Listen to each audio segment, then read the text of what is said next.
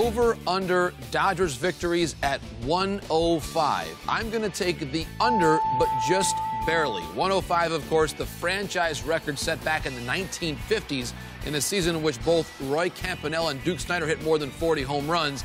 A very powerful lineup for the Dodgers this year as well but I don't quite see them getting to that 105 level. Of course, they won 104 back in 2017. They'll be in that neighborhood. I'm a little bit concerned still about the bullpen. That's maybe that one little issue the Dodgers still trying to work through, but this is a, to me, historic team, just not quite as good as those 1953 Brooklyn Dodgers. Christian Yelich, reigning NL MVP, over under 60 home runs. That is still a magic number. He's going to come in just under it. Christian Yelich will hit 57 home runs this year. I'm very sure about that. 57. He, of course, his career high is 36, which he set last year when he won the MVP. Historic season, of course, as we know, for home runs across Major League Baseball. Yelich, though, he might get pitched to a little bit tougher down the stretch. It's going to be a very tight NL Central race.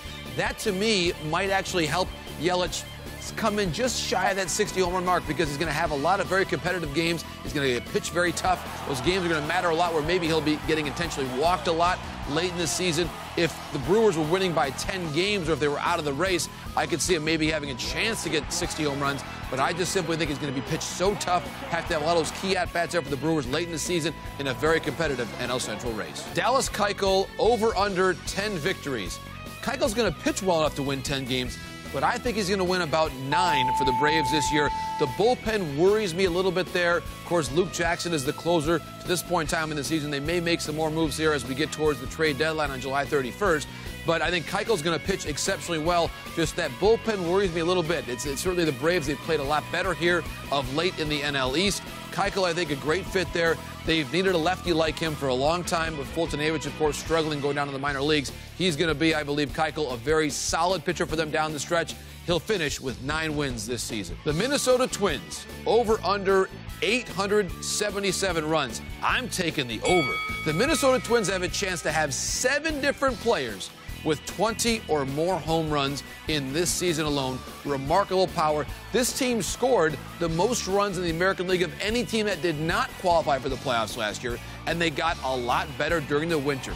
Nelson Cruz comes in, Jonathan Schoop, Marwin Gonzalez, CJ Cron. It's a very deep lineup that also has gotten some key contributions from their young players internally, the likes of Eddie Rosario and Max Kepler as well. The Twins, a dangerous team. They've been, I think, a little bit overlooked because the AL Central race is maybe not as competitive as others around the game. The Twins are simply not getting the credit they deserve. They're going to have a historically great season, maybe even 900 runs this year in the Twin Cities. Aroldis Chapman over under 40 saves. I'm taking the over.